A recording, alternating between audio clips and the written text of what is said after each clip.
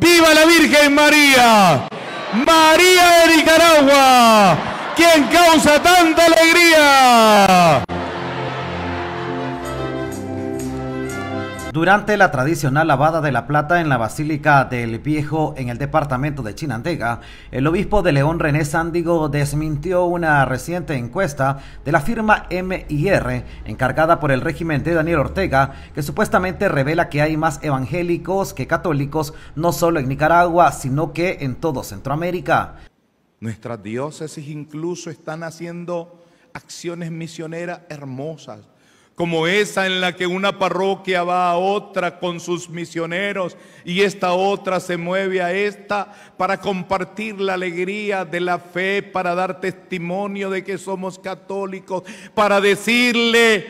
a todos que es falsa la estadística que quiere desanimar y que dice que ya no hay católicos en Nicaragua, cuando aquí yo les pido a ustedes ¿Dónde están los católicos de Nicaragua?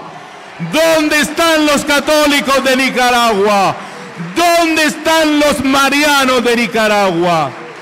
La estadística a la que se refiere Sándigo la revelaron medios oficialistas el 21 de noviembre donde dicen que el número de la población evangélica es de 36.9%, mientras que los católicos alcanzan un 33.1% y los creyentes sin denominación llegan a un 28.6%. Escuchemos,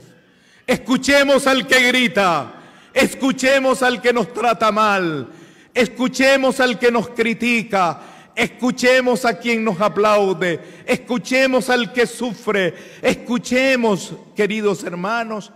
y veremos cómo hay un escape, hay un escape de la tensión, hay un escape. Monseñor Sándigo, quien ha callado ante los ataques a la Iglesia Católica y el secuestro de su hermano en Cristo, Monseñor Rolando Álvarez, desde el púlpito de la Virgen del Trono pidió al pueblo católico unidad como iglesia. Les pido que nos unamos en una intención y es